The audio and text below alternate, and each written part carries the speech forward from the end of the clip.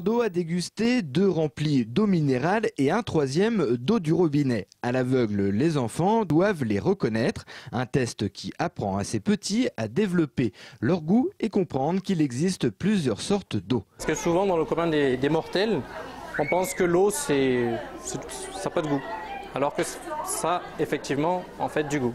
David, animateur de l'association des petits débrouillards, ne se contente pas de faire boire les enfants, il leur explique la différence entre ces eaux. Il y a un peu plus de chlore dans l'eau de, robinet, mais en fait euh, dans les eaux minérales, il y a différents minéraux et d'autres éléments, euh, puisque en fait euh, le cycle de l'eau fait que il se gorge pas de même quantité, des mêmes proportions de différents minéraux.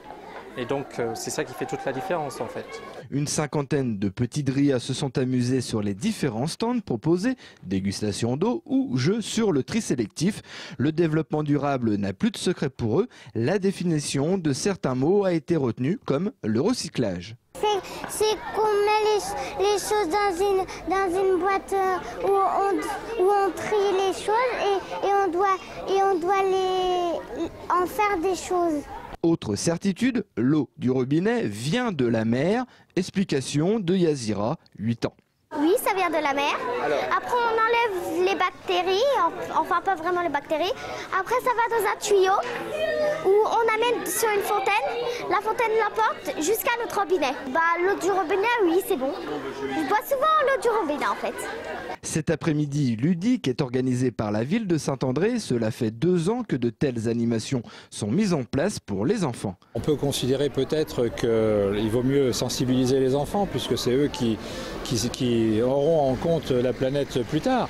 En ce qui concerne les parents, on peut, je pense qu'il est peut-être un, un peu tard. En tout cas, s'ils ne le sont pas, ils ne le seront Donc euh, la cible, c'est les enfants et on espère qu'en leur faisant découvrir toutes les, facettes euh, de l'environnement et du développement euh, durable, eh bien, ils seront des, des guides, en tout cas des inspirateurs pour ce qui se passera plus tard. Demain, l'apprentissage écologique se poursuivra dans les écoles de la commune. Une distribution de graines et de plantes aromatiques sera faite pour sensibiliser les enfants aux plantes et à leur environnement.